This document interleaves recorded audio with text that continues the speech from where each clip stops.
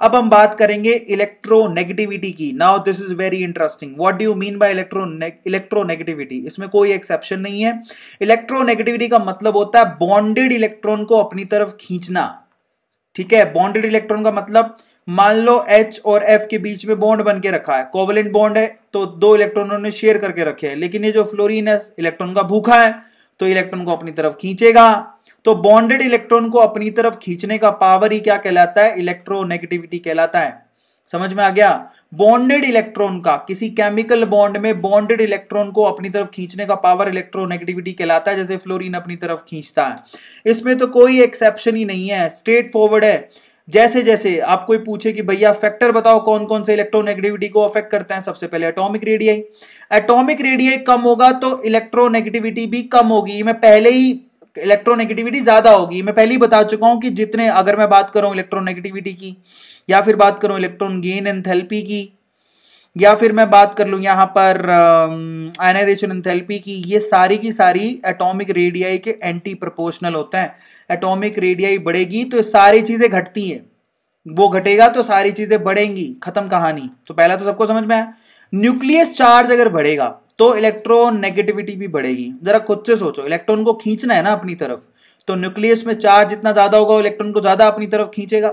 Screening effect के तो anti proposal होता है, क्योंकि स्क्रीनिंग इफ़ेक्ट बढ़ेगा, इसका मतलब इलेक्ट्रॉन रिपेल ज़्यादा कर रहे हैं। तो फिर बेसिकली इलेक्ट्रॉन को खींचेगा कैसे वो? क्योंकि इलेक्ट्रॉन तो खुद ही यहाँ से रिपल्शन ज़्यादा हो रहा है। समझ में आ गया?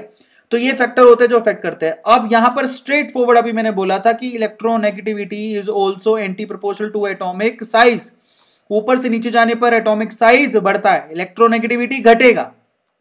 दाएँ से बाएँ जाने पर एटॉमिक साइज़ घटता है इलेक्ट्रोनेगेटिविटी बढ़ेगा। इस हिसाब से सबसे ज़्यादा इलेक्ट्रोनेगेटिविटी किसकी होती है? फ्लोरीन की। इसमें कोई एक्सेप्शन नहीं है। Fluorine is the most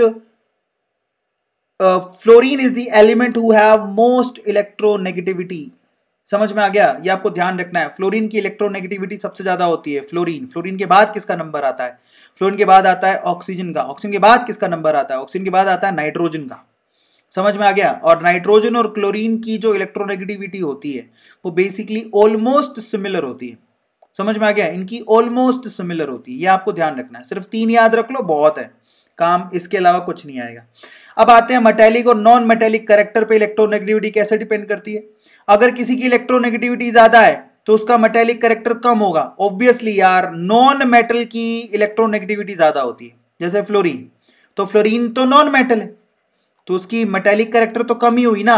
तो इसका मतलब metallic character is anti proportional to electronegativity and non metallic character is directly proportional to electronegativity जिसकी इलेक्ट्रोनेगेटिविटी ज़्यादा होती होती है, उसकी नॉन मेटेलिक करेक्टर ज़्यादा होता है। मोस्ट कॉमन चीज़ है जिसको आप ढंग से दिमाग लगाओगे तब भी आ जाएगा।